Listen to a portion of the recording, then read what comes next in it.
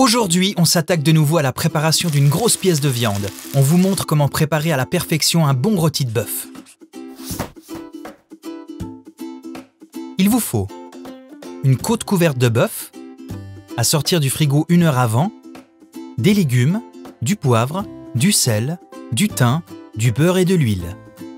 Sans oublier un thermomètre à viande, un plat qui va au four et une poêle. Faites d'abord préchauffer le four à 160 pour les fours à chaleur tournante et à 180 pour les fours à chaleur supérieure et inférieure. Ensuite, versez l'huile dans la poêle et faites chauffer à feu vif. L'huile est assez chaude quand elle devient liquide comme de l'eau. Et quand ça grésille comme ça, vous pouvez y aller.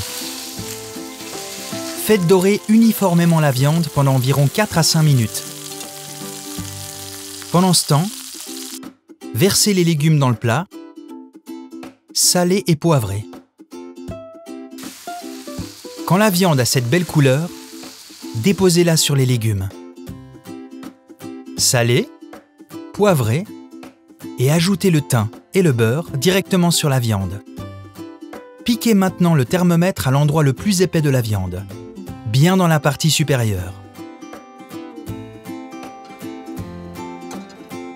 Et hop, on met le plat au milieu du four.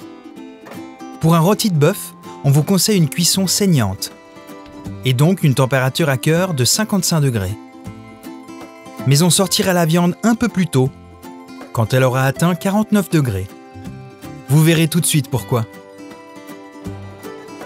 Pendant la cuisson, arrosez de temps en temps le rôti avec le beurre fondu. Ça lui donnera encore plus de goût.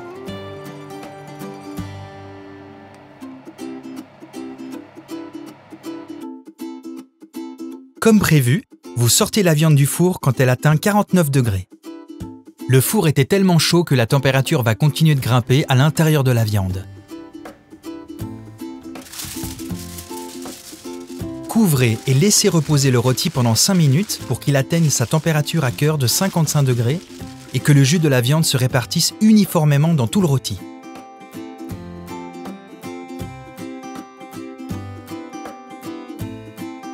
Magnifique. Il doit être bien juteux, tendre et rosé, comme ça. Vous pouvez le servir. Pourquoi pas accompagné de quelques pommes de terre sautées et de légumes frais du marché Bon appétit